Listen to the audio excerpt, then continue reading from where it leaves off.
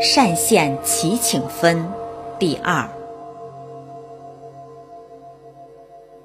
这时，众僧中德高年长的须菩提长老从自己的座位上站了起来，他斜披袈裟，偏袒着右肩，以右膝跪在地上，双手合十，虔诚恭敬地向佛行礼。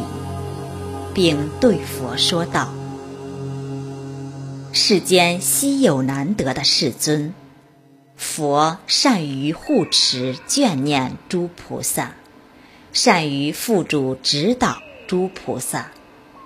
世尊，倘若有善男子和善女人，发愿成就无上正等正觉的菩提心，那么。”他们应如何使这个菩提心常住不退呢？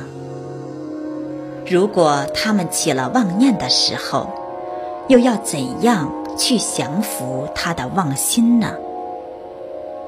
佛陀嘉许说：“很好，很好，须菩提，正如你所说的那样。”佛善于护持眷念诸菩萨，善于付诸指导诸菩萨。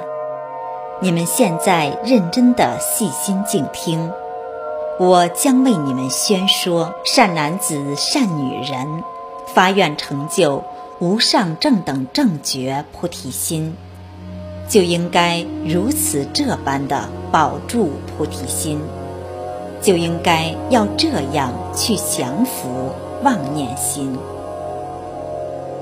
菩提回答说：“好的，佛陀，我们都乐意欢喜地聆听您的教诲。”